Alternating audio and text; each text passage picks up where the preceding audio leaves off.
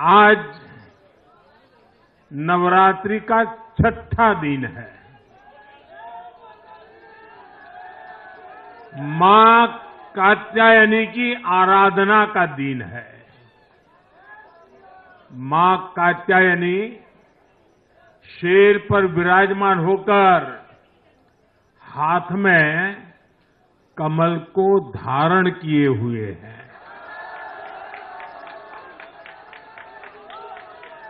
हम सभी को आशीर्वाद दे रही है। ऐसे पावन दिन हरियाणा में तीसरी बार लगातार कमल खिला है।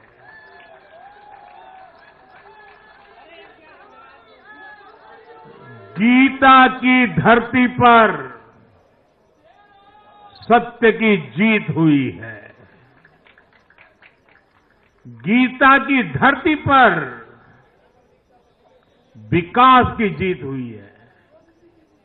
गीता की धरती पर सुशासन की जीत हुई है।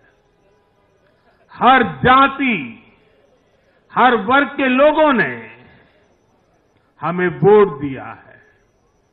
साथियों, जम्मू कश्मीर में दशकों के इंतज़ार के बाद आखिरकार शांतिपूर्वक चुनाव हुए।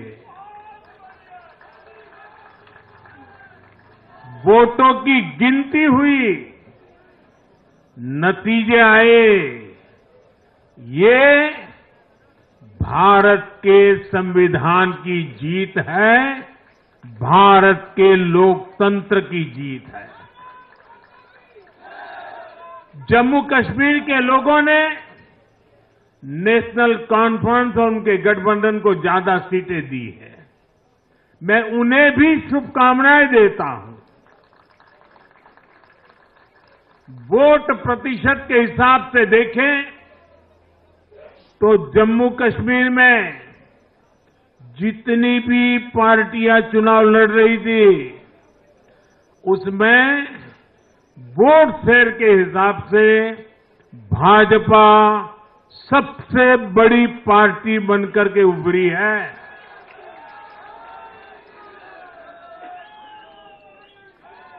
मैं हरियाणा और जम्मू कश्मीर में